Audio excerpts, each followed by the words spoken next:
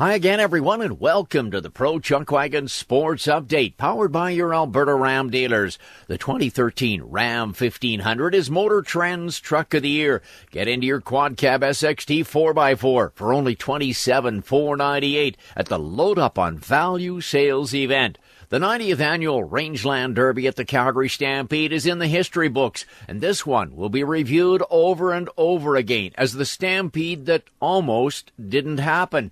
As many are well aware, less than two weeks before the annual summer exhibition show was slated to get underway, the banks of the Elbow River flooded the rodeo grounds, the racetrack, and many of the buildings and structures at Stampede Park. But a can do attitude, a positive response from experts who knew how to make it happen. And on July the 5th, the 101st Calgary Stampede opened on schedule, with the two major sporting events headlining the show, as has been the case since way back in 1912 when Guy Weadick envisioned the great summer festival. The sports aspect of the Calgary Stampede wound up with the Rangeland Derby Chuckwagon races, and for the first time, the sentimental favorite pulled it off. High River, Alberta's Jason Glass, with outriders Chad Cosgrave and Rio King, ran penalty free in a time of a 110 and 26 to take the ninth and final heat and a cash reward of $100,000.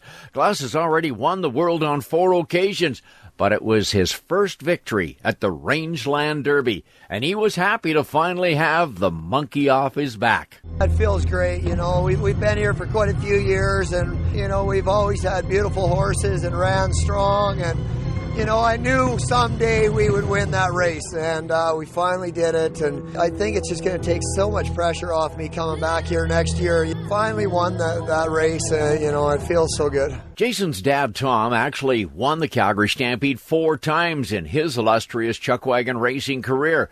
There were other awards handed out at this year's Rangeland Derby. I'm back in a moment with a look at those. Ram 1500 is in a class all its own with best in class fuel economy and a class exclusive 8 speed transmission. It was even named 2013 Motor Trend Truck of the Year. So, to everyone else who didn't get there, class dismissed. Get an all new 2013 Ram 1500 SXT 4x4 for less than 26000 See dealer for details. Guts, glory, Ram. In the ninth and final heat Sunday night, Grande Prairie's Kirk Sutherland had finished second behind Glass with a running time of a 110 and 42. That's a mere 16 one hundredths of a second behind the winner this year. Sutherland was named the Stampede's Safe Driver Award winner. And another Grande Prairie native, Chance Vegan, took home the coveted Orville Strandquist Award as the top rookie driver at this year's Rangeland Derby. Also in the running for that award was Mitch Sutherland, Evan Solomon, and Chance Bensmiller. The WPCA Summer Tour resumes on Thursday night in Bonnyville, while the CPCA drivers head out to St. Walburg, Saskatchewan, where they resume their tour of racing on Friday night. For your Alberta Ram dealers, now featuring the 2013 Ram 1500 in all of their showrooms. I'm Arnie Jackson for the Rodeo Country Radio Network.